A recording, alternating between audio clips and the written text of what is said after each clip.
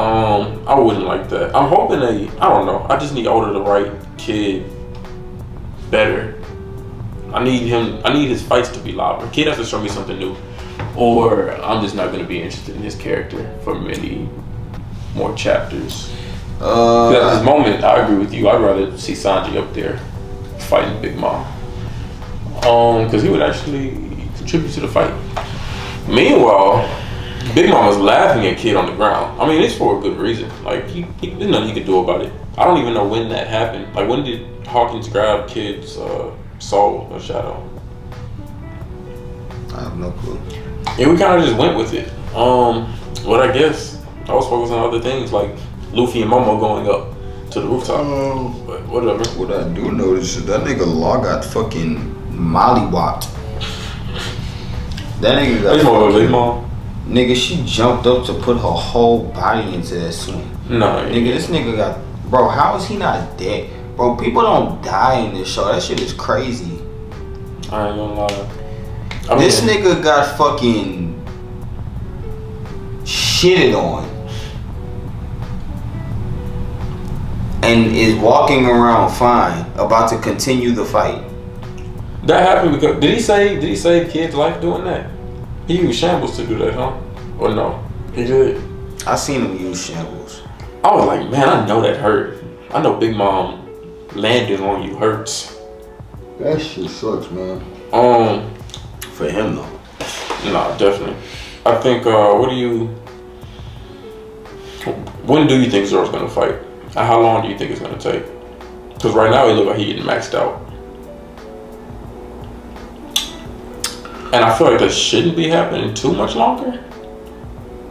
But I mean, shit, I ain't never seen King fight before, so Bro, what does King do? he's a Like, what's his power? his race. He's like on fire all the time. He lives on his family's from that wall. What wall? You seen a kid, a king backstory?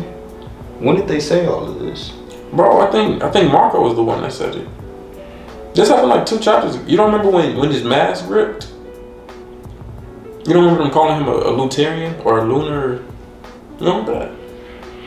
No. Apparently, King is from this certain um, race in this certain place in the world where they're just on fire, and I feel like they said, "Oh, something important." They used to be the guardians of. Damn, it's something important in One Piece. Appreciate your elite dripping. You lit too, bro. We Super all lit. Hey, put in the uh, comment section what is what was yeah everybody left. All right, oh fuck. Well no, he he's some race and they used to protect. I feel like a wall. Something important in One Piece, definitely. Um, I don't remember that. it's pretty important information because it's crazy because niggas was saying uh, some people think that Sanji's one of them, and that's why his foot always catch on fire. Um, that'd be that'd make a lot of sense. I'm glad I finally get an explanation. Exactly. So it's like, yeah, you should like, you should like find that. You should read that chapter. Um, man, if we're on 1029 now, that was probably like chapter 1025. They said that. Yeah, 25, 26. Um, tell me this: you think you think King opening? I mean, you think Zoro opening his eye this fight against King, or you think he's saving that for Mihawk? Um,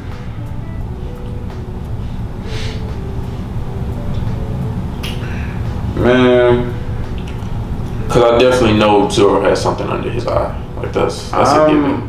personally speaking, I'm under the impression that there's nothing in Zoro's eye.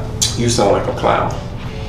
Um, To I the foolish think, I think that Mihawk just cut it in training, Mm.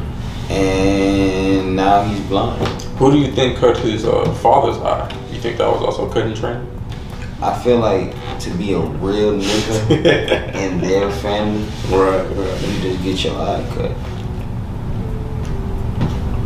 Fair enough. Um. oh, fuck.